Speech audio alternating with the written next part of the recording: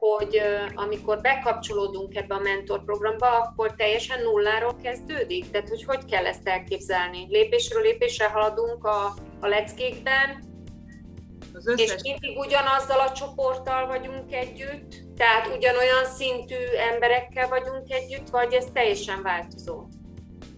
Mivel teljesen más tudásszinttel kapcsolódtok be a programba, van, aki tök kezdő, van, aki már mondta itt az elején is, hogy már megcsinálta a rajzolás részt, valaki színes ceruzáknál, tehát hogy mindenki más szinten kapcsolódik be, és így pont ezért kapod meg az összes filmhez a jogosultságot, és pont ezért van az, hogy megcsináltuk ezt a sikerutat, amit az előbb mutattunk, hogy melyik lecken mi a feladat, mert hogyha már megvan, úgy kapcsolódsz be a programba, hogy te már rajzoltál A3-as méretbe vonalas árnyékolás technikával portrét, akkor neked nem kell megcsinálni azt a leckét, akkor haladhatsz a következőre. De hogyha tök kezdőként indultál, akkor az első leckét csináld meg. De hogyha már azt tudod, azon már túl vagy, akkor nyilván haladja a következőre.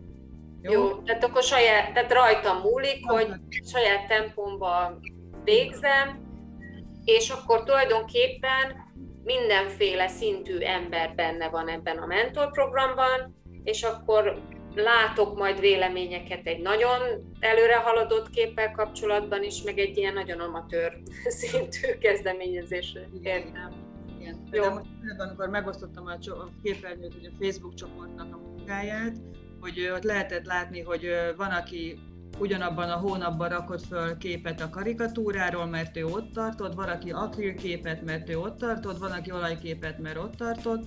Tehát, hogy ö, egyéni tempóban a sikerút alapján tudtok haladni. Jó? És mondjuk, hogyha én például annyira nem szeretnék mondjuk olaj, olajjal dolgozni, akkor ja. azt egyszerűen kihagyom, és készen van. Igen az a kérésünk, hogy a rajzot mindenképp csináljátok meg, mert az az alapja. De az, hogy a rajz után milyen sorrendben haladsz a különböző technikák között, az már egyéni Igazándiból úgy van, hogy ugye vannak a nagy, nagy technikák, ugye a, a, a pastelkréta, akrilfestés, akvarel, olaj, ugye ezek a nagy, meg a színes ezek a nagy témakörök. Tehát, hogy a, megvan az alap, akkor utána, hogy melyik színest érdekel, vagy választod, az ugye abszolút rugalmas. Tehát ha téged nem érdekel az olaj, csak az akril meg az akvarel, akkor azt csinálod meg. Tehát ilyen szempontból rugalmas és szabadon választható. Az egyéni stílusok részben van olyan, hogy ott viszont már például amikor csináljuk a, a kollást, akkor ott már a, a, az akril festés részével már nem foglalkozunk, csak azzal, hogy hogyan lehet összekombinálni a, a különböző technikákat, tehát a, abban a részben mondjuk így benne van az, hogy aki már ott tart, hogy, hogy ilyen stílusokat akar kipróbálni, megtalálni jobban az egyéni hangját, akkor, akkor nem olyan nagy hátrány vagy baj az, hogy ha már tud akrillal vagy olajjal vagy akármivel festeni, mert ott már egy kicsit készségszinten használjuk ezeket a dolgokat. Tehát ott egy picit már így magasabb szinten kezdünk el alkotni. Egyébként az időbeliség is, tehát hogy az is teljesen, hogy a leckéket azért adtuk meg, hogy legyen egy mankót, hogy mi alapján haladj. De van olyan tanítványunk, aki két évet végzett el ebbe a mentorprogramban, két évig voltak, de a két év alatt ő mind a 36 leckét megcsinálta, mert annyi több ideje volt, hogy egy hón, nem egy hónap alatt csinált meg egy leckét, hanem egy hónap alatt mondjuk két-három leckét csinált meg. Irigykedtünk rá.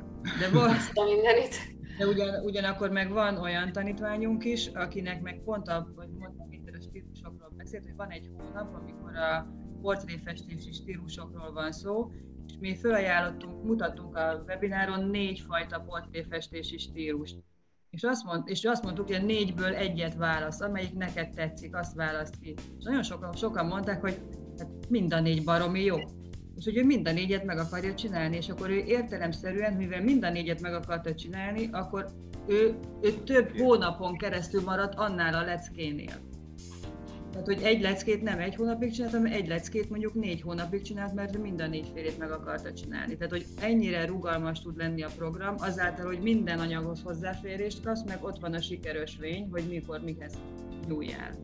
Akkor, hogyha jól értelmeztem, akkor körülbelül egy hónap egy lecke? Mi azt gondoljuk. mi azzal terveztek. És az körülbelül napi szinten mennyi, mennyi időt egy hónapban kétszer 8 órát mondok én. Tehát ugye a mentor, mentor programnak van az elit csoportja, az, amikor szombat-vasárnap együtt dolgozzuk fel az adott hónapnak a témáját, és akkor azon a szombat-vasárnapon mi megcsináljuk az az egy leckét. Uh-huh. Két nap elég ahhoz, hogy megcsináld azt az adott hónapnak, vagy adott, adott leckét, egy szombat-vasárnap elég rá.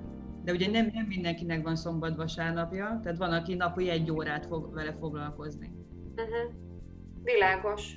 Értem. 16, tehát 2008, 16 óra az, az elég. Persze, hogyha mondjuk nem csak egy képet akarsz megcsinálni az adott hónapban, hanem többet, akkor, akkor nyilván az, az több időt. Uh-huh. De akkor körülbelül ezt le, ezzel lehet számolni.